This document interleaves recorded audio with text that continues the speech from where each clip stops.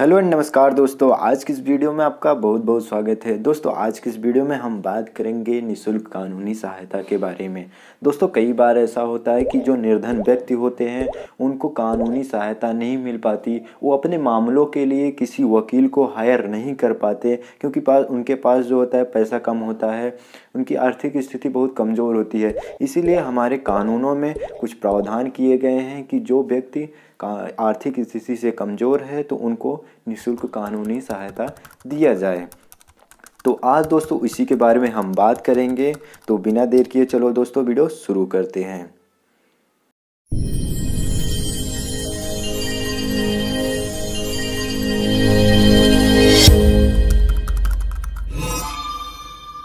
मामला चाहे सिविल हो या आपराधिक मामला हो, दोनों पक्षकारों की बातें सुनी जानी चाहिए और दोनों को अपनी बातें रखने के लिए समान अवसर मिलना चाहिए।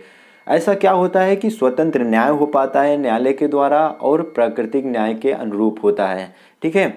तो ऐसी स्थिति में दोनों पक्षकारों की बातें सुनी जानी चाहिए। लेकिन प्रश्न यहाँ तब उठता है कि जब अभियुक्त निर्धन होता है, यानी कि कोई पक्षकार उस मामले से वो निर्धन होता है, उसके पास पैसा नहीं होता है तो वह अपने मामले में वकील हायर नहीं कर पाता है।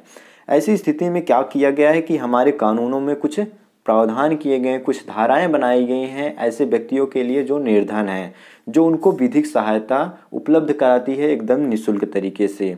इसमें सबसे पहला है हमारा भारतीय संविधान का अनुच्छेद 39 ए। इसमें प्रावधान किया गया है कि राज्य सुनिश्चित करेगा कि विधिक तंत्र इस प्रकार काम करे कि समान अवसर के आधार पर न्याय सुलभ हो और वहाँ विशिष्टताएँ यह सुनिश्चित करने के लिए कि आर्थिक या किसी अन्य योग्यता के कारण कोई नागरिक न्याय प्राप्त करने के अवसर से वंचित न रह जाए। युक्त विधान या स्कीम द्वारा या किसी अन्य रीति से निशुल्क विधिक सहायता की व्यवस्था करेगा। हमारे अनुच्छेद 39 ए में यह बताया गया है कि जो राज्य होगा, उसका यह कर्तव्य होगा कि जो निर्धन व्यक्ति है, अपने मामलों के लिए वकील या अधिवक्ता हायर नहीं कर पा रहा है तो उसके लिए क्या होगा कि राज्य उसको निःशुल्क अधिवक्ता उपलब्ध कराएगा, किसी विधिक सहायता के द्वारा या किसी अन्य स्कीम के द्वारा, ठीक है?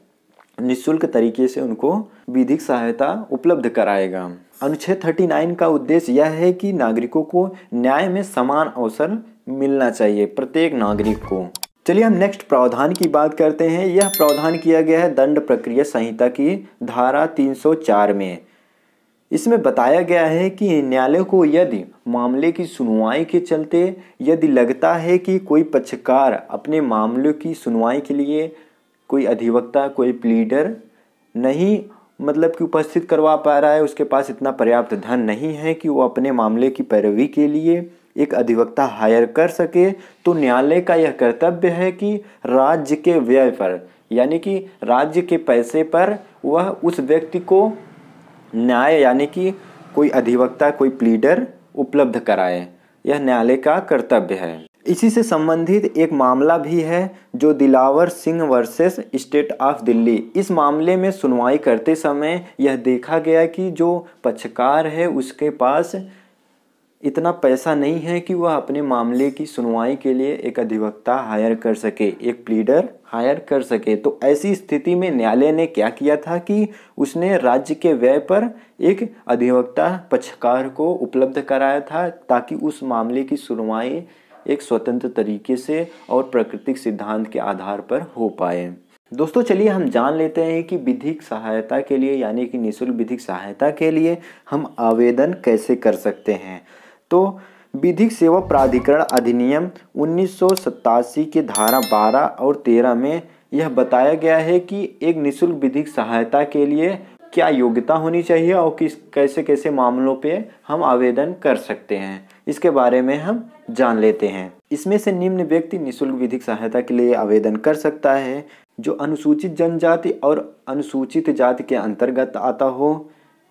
दूसरा है, संविधान के अनुच्छेद तेईस के अधीन कोई निर्देशित मतलब कोई बेकार पीड़ित व्यक्ति है। कोई स्त्री या बालक है, इनमें से कोई भी पीड़ित व्यक्ति आवेदन कर सकता है, ठीक है? अब किसके लिए आवेदन कर सकता है? इसके बारे में हम बात कर लेते हैं। लोक उपद्रव से संबंधित आवेदन कर सकता है, जातिगत हिंसा से संबंधित आवेदन कर सकता है, जातिगत अत्याचार से संबंधित आवेदन कर सकता है, बाढ़, सूखा, भूकंप, उद्योग उपद्रव से संबंधित आवेदन कर सकता है।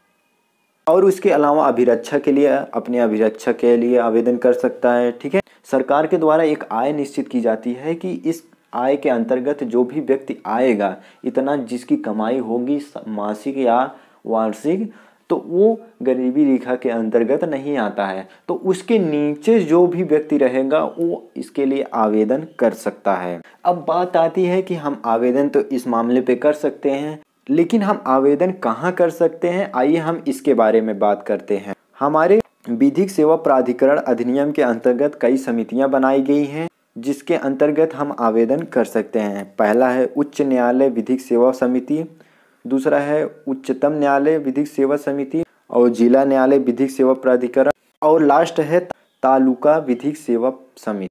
इसके अलावा अन्य विधिक सहायता के लिए प्राधिकरण बनाए गए हैं, जिसके बारे में हम जान लेते हैं। पहला है राष्ट्रीय विधिक सेवा प्राधिकरण, दूसरा राज्य विधिक सेवा प्राधिकरण और लास्ट है जिला विधिक सेवा प्राधिकरण। दोस्तों, आज के इस वीडियो में हमने जाना कि निशुल्क विधिक सहायता का प्रावधान किन किन कानूनों में किया गया है और उसके लिए हम आवेदन कैसे कर सकते हैं। उसके लिए आवेदन हम करने के लिए मतलब कि किस किस टॉपिक पे किस किस उद्देश्य से हम आवेदन कर सकते हैं और कहाँ कर सकते हैं, इसके बारे में भी हमने डिटेल से जाना है। तो दोस्तों, वीडियो अगर अच्छा लगा तो अपने दोस्तों के साथ या कोई ऐसा व्यक्ति है जो अपने मामलों की सुनवाई के लिए अधिवक्ता हायर नहीं कर पा रहा है तो उनको इस वीडियो को शेयर करिए, ठीक है? और उनकी मदद करिए। अगर आपको वीडियो अच्छा लग रहा है तो लाइक कर दीजिए, एक प्यारा सा कमेंट कर दीजिए। तब तक के लिए हम मिलते हैं अगले नेक्स्ट वीडियो में। जय हिंद, जय भारत।